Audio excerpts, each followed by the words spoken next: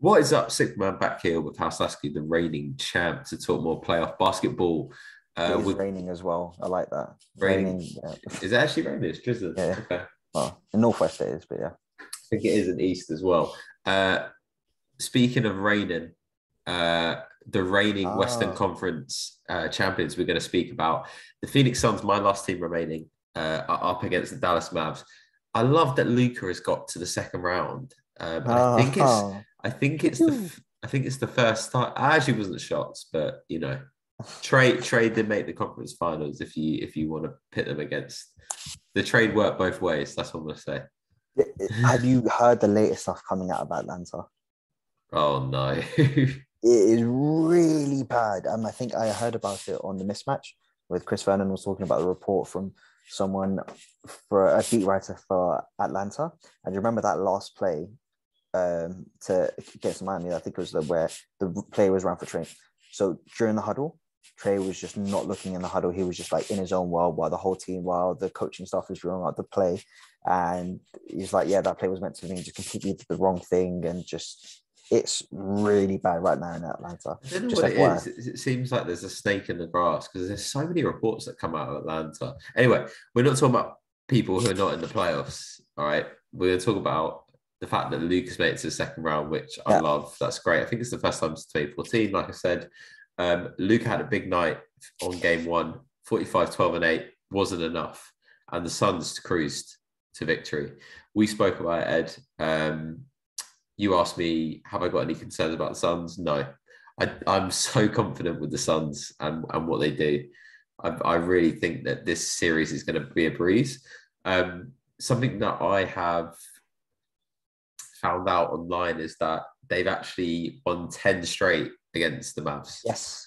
And Luka's played in eight of them. So it's not it's not like it's been it's, it, it's legit. And then you look at like what else the Suns can be dominant over.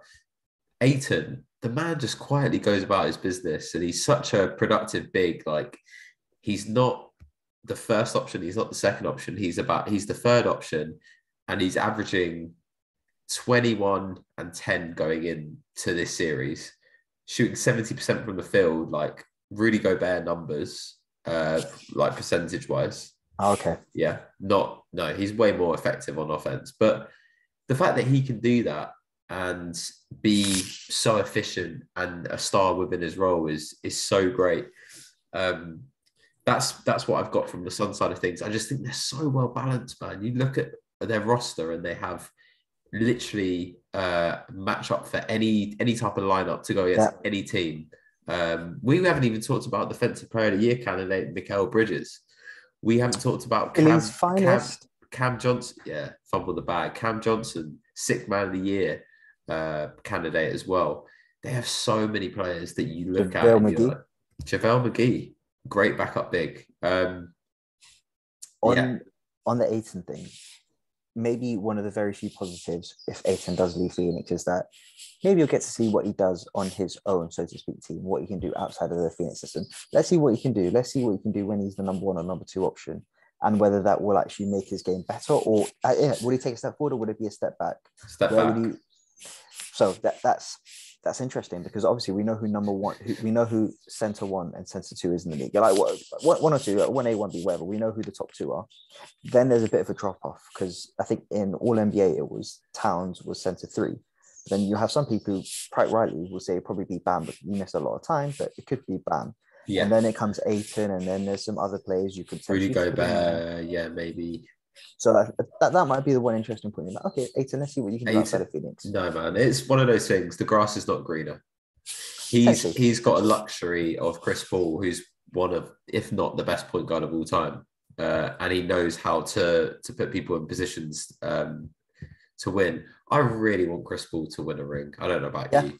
I think yeah, yeah. he really I'm deserves not, it. I'm not a hater. Of course, I, I, I love to see him win one. That's something which is like similar to Dirk. Like when Dirk won it, I was like, yeah, man, he deserves it. Like he's he's not. I can see why people find him annoying, but he's uh he's good. What, what do you got? What do you think about Dallas and their chances for this series? I mean, J- Jalen Brunson has obviously stepped up big time for them, but he he only scored 13 points in game one. Uh, Kleber shot the ball well in game one.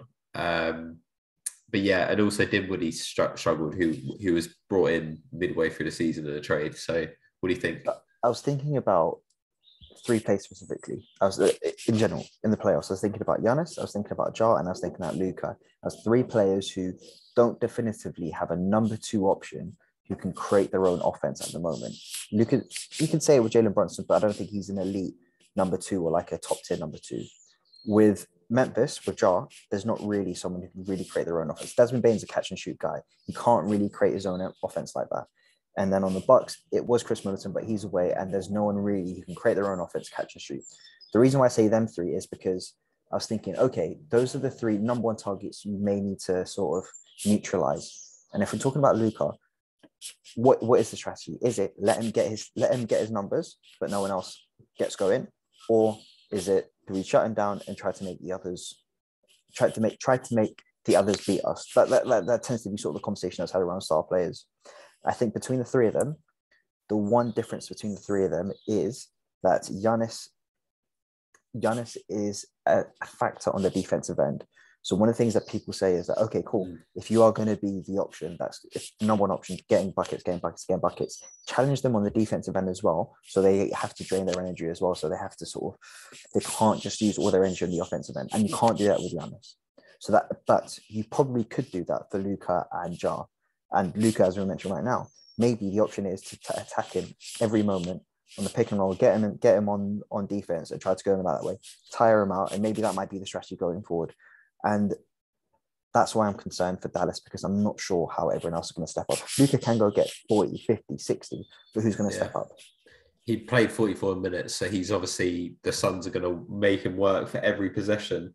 Um, if you relay it back to the past series, um, Utah weren't letting Luka beat them. They were very happy to to help, and I think it's way more dangerous for the Suns. That's why I think the strategy is working um, to let Luka just go ballistic and get his numbers because you know yeah. three or four players going off is is more dangerous than one. You know, the the basketball has energy, right?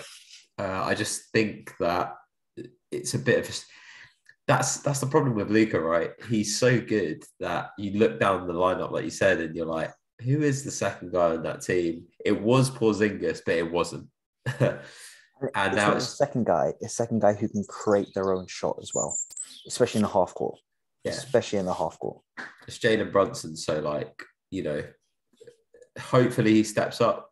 Uh went to Nova, so sort of root, sort of rooting for him. Um, I think he's going to get a big contract, but personally, Ed, I think to close this out, I think Suns in four, as apparently the the the fans were chanting as well. What do you think? Uh, yeah, I don't disagree with that. I think Luka could potentially get one game. Mm-hmm. And you can have another hot shooting night from um, from Kleber and Cast from three, um, because they are streaky, streaky hot shooters. Um, but no, yeah, Suns are definitely winning this. But what something I want to ask you, something we discussed before, when we did our offline, when we mm-hmm. did our top three teams of the West, we had two different number one and number two teams. I had the Warriors as number one team. You had the Suns number two team, uh, number one team, sorry. And it seems like Suns are the favorite. And I was maybe going a bit against the grain. Do you still feel confident with that? Are you not worried about what the Warriors have done? Well, it looks like that's going to be a tough series for the Warriors. I still think the Warriors come out of that series with the Grizz. Uh, they're they're more experienced, but if that is an extended series that's going to make yeah. uh, the life easier for the Suns. It could also work conversely, like they might be out of reps and practice and start the series uh, slow. But then again, the history shows that they're seven one, seven and one in game ones at home uh, since the bubble. So you know they definitely turn up, and um, Monty Williams has always got them playing right. I'm very confident that the Suns will be going back to the NBA Finals. Um, would love to have a Warriors Suns matchup though with you. I think.